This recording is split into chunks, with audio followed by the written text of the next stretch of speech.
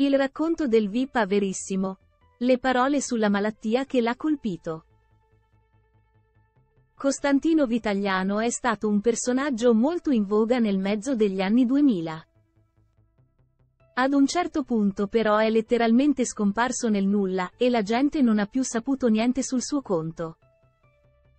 Che cosa gli è successo? Ecco la verità rivelata durante l'intervista a Verissimo. Costantino Vitagliano si racconta nello studio di Silvia Toffanin. Ancora una volta verissimo, il programma Mediaset condotto da Silvia Toffanin, è riuscito ad attirare l'attenzione dei telespettatori proponendo un'intervista davvero molto interessante. Stiamo parlando di quella che si è verificata con Costantino Vitagliano, personaggio di punta del passato nonché ex tronista di uomini e donne. Per diversi anni questo ragazzo è stato un vero e proprio sex symbol, comparendo sui poster nelle camerette di centinaia di ragazze.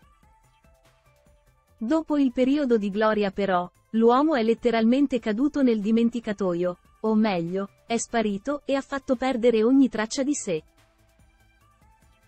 È proprio su questo punto che l'uomo ha voluto fare chiarezza, dichiarando come si sia allontanato dai riflettori a causa di una malattia che lo ha colpito all'improvviso. Si tratta di una patologia autoimmune, una condizione rara che nemmeno i medici sapevano come trattare.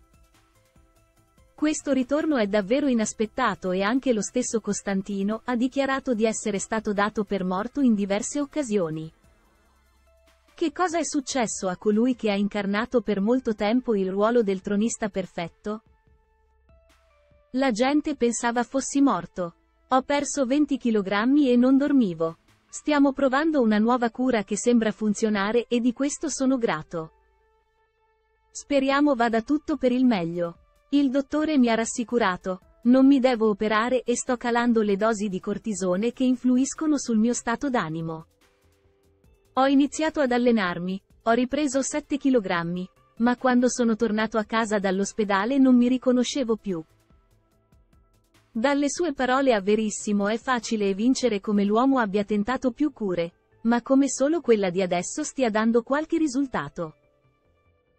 Costantino ha poi parlato del grande amore che prova verso la figlia, l'unica che ha rappresentato la luce in questo periodo tremendamente buio.